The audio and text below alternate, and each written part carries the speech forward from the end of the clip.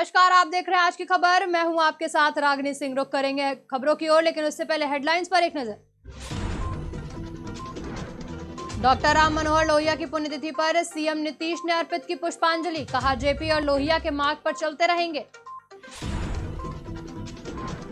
गिरिडीह में सीएम हेमंत सोरेन ने सुनी लोगों की समस्याएँ, अधिकारियों को दिए समाधान करने के निर्देश। पश्चिम चंपारण में प्रशांत किशोर ने लोगों से किया संवाद, कहा अपने बच्चों के भविष्य के लिए डाले वोट. महर्षि चुनचुन पांडे की याद में कार्यक्रम का आयोजन, विशेष डाक आवरण भी किया गया जारी।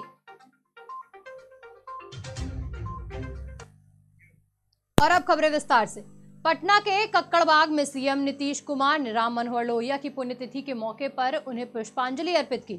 इस मौके पर उन्होंने कहा कि राम मनोहर लोहिया को वो बचपन से ही जानते थे और उनके विचारों से प्रभावित थे। उनका कम उम्र में निधन हो गया, लेकिन उनके विचार ने पूरे समाज को प्रभावित किया। साथ ही सीएम ने जेपी को भी याद किया। उन्होंने कहा कि हम लोग जयप्रकाश बाबू और लोहिया के मार्ग पर चलने वाले लोग हैं। नीतीश कुमार ने अमित शाह पर निशाना साधते हुए कहा कि जिनको जो कहना है कहने दीजिए। हम लोग जेपी और लोहिया के मार्ग पर चलकर काम करते हैं और करते रहेंगे। लोहिया जी की पुण्यतिथि है। और उस समय तो हम लोग बिल्कुल छात्र थे। कॉलेज में पढ़ ही रहे थे। उसी समय उनका निधन हुआ था। तो जब यहाँ हम पढ़ते थे तो उनका निधन के पहले आकर के इनका भाषण भी हुआ था। नहीं लगाया जैसा ही। भाई हम एक छात्र के रूप में इनकी बात सुनने आए थे। और जब हम बच्चे रहे हैं उस समय भी अखबारों में इनके बारे में पढ़ते रहे हैं। झारखंड के मुख्यमंत्री हेमंत सोरेन गिरिडीह पहुँचे। जहाँ इस दौरान झंडा मैदान में आयोजित कार्यक्रम में उन्होंने आपकी योजना, आपकी सरकार, आपके द्वार कार्यक्रम का उद्घाटन किया। मुख्यमंत्री हेमंत सोरेन ने सभी उपयुक्तों को जन शिकायतों को त्वरित निपटारा करने के निर्देश दिए। उन्होंने कार्यक्रम के दौरान जनता से सीधा संवाद स्थापित कर उनकी शिकायतों और समस्याओं पर कार्रवाई करने को कहा। साथ ही उन्होंने इस कार्यक्रम की जानकारी घर घर तक पहुँचाने के निर्देश भी दिए।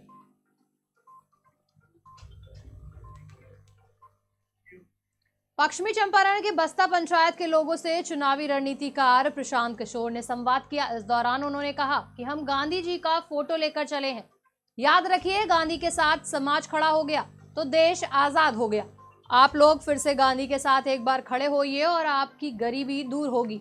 साथ ही उन्होंने स्थानीय लोगों से अपील करते हुए कहा कि जन सुराज पद यात्रा में हम आपको सिखाने और समझाने आए हैं कि आप लोग लालू, नीतीश या मोदी किसी के नाम पर वोट मत डालिए, बल्कि बिहार के बच्चों के भविष्य के नाम पर वोट कीजिए।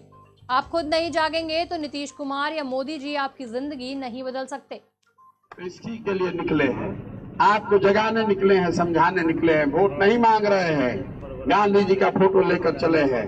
याद रखिए, गांधी के सामने समाज खड़ा हो गया गांधी जी के साथ तो देश आज़ाद हो गया। गांधी के साथ एक बार खड़े होइए। और आपकी गरीबी अपने आप दूर होगी। दूसरा कोई उपाय नहीं है। कोई लालू नहीं, कोई नीतीश नहीं, कोई मोदी नहीं। किसी के नाम पर वोट नहीं पड़ना चाहिए। बिहार के बच्चों के भविष्य के नाम पर वोट पड़ना चाहिए। पटना में महाक्रांति नायक महर्षि चुनचुन पांडे और विप्लवी फुलेना प्रसाद की याद में बिहार म्यूज़ियम सभागार में कार्यक्रम का आयोजन किया। इस दौरान आज़ादी के अमृत महोत्सव के तहत विशेष डाक आवरण भी जारी किया गया। कार्यक्रम में महर्षि चुनचुन पांडे के पौत्र स्वतंत्रता संग्राम के चर्चित इतिहासकार और कवि प्रकाश पांडे और फुलेना प्रसाद श्रीवास्तव के करीबी मनोज कुमार सिन्हा भी मौजूद रहे।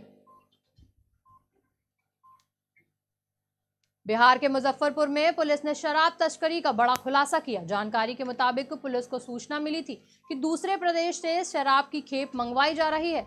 जिसके बाद उन्होंने दरभंगा मोड़ पर घेराबंदी की। तभी एक कार और उसके पीछे एक एंबुलेंस दिखाई पड़ी, जिसके बाद आरोपियों ने भागने की कोशिश की, लेकिन पुलिस ने उन्हें धर दबोचा। पूछताछ करने पर पता चला कि ये सभी दिल्ली और हरियाणा के रहने वाले हैं। वहीं से शराब की खेप लेकर आते हैं और फ़िलहाल पुलिस मामले की जाँच में जुटी है। गाड़ी है, एक एसयूवी है, एक एंबुलेंस है। इस पर वाहन चेकिंग क्रम में छः सौ तीस बोतल, सात सौ पचास एम वाला।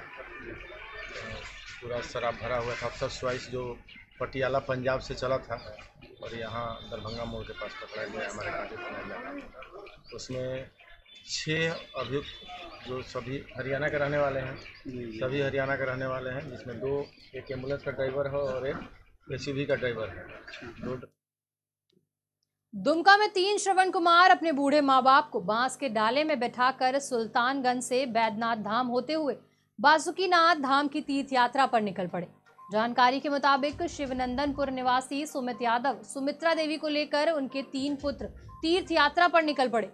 पुत्र संतलाल यादव का कहना है कि घोड़ी के लताड़ से उसका सिर फट गया था और उसकी हालत काफ़ी खराब हो गई थी। जिसके बाद माता पिता ने बाबा से कामना की थी कि अगर बेटा ठीक हो जाएगा तो दर्शन करने जाएँगे। संतलाल यादव ने बताया कि ठीक होने के बाद हम लोगों को जब इसकी जानकारी मिली तो हम लोगों ने तय कर लिया कि माता पिता को बाबा का दर्शन कराने ले जाएँगे और हम लोग माता पिता को बाँस के डाले पर बैठा कर निकल पड़े हैं। कितना दिन से निकले हैं तीर्थ यात्रा पर? अमावस्या से। वही घोड़ी ने धक्का मार दिया था लताड़ी मार के घूमे के। जब हमरा संभाले ले ली हुनी गिरी गए तो हमरा तो ओकरा तो देखै तब अभी कहाँ जा रही है? बासुकीनाथ? देवघर में पूजा अर्चना किए? क्या मांगे?